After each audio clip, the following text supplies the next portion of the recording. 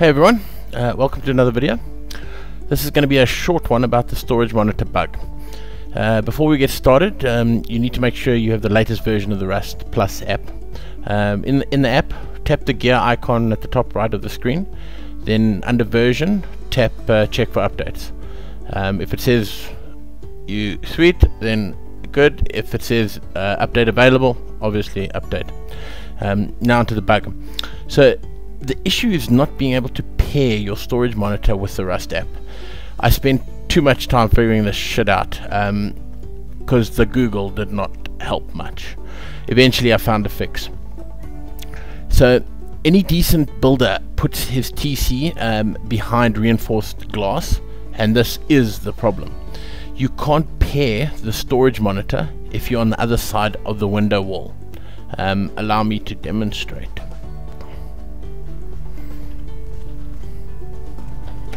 Okay, so we're going to put down the TC.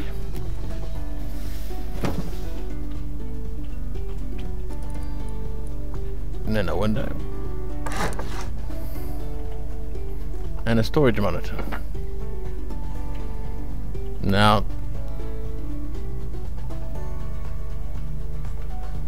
you can spam E as much as you want. It will not pair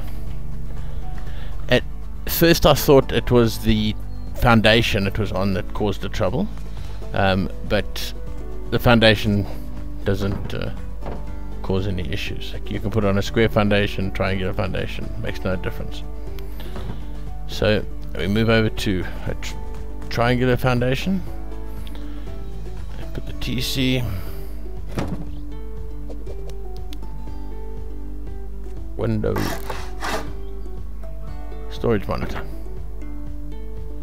Now, the key is to jump through the window.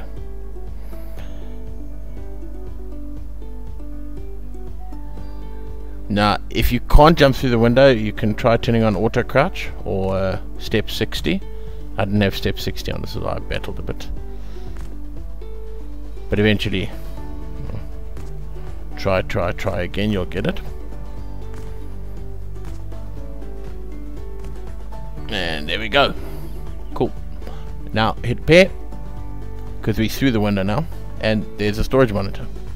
So all good. So once that's done, uh, wire it up, and uh, under devices, it'll show your storage monitor and what's in your TC.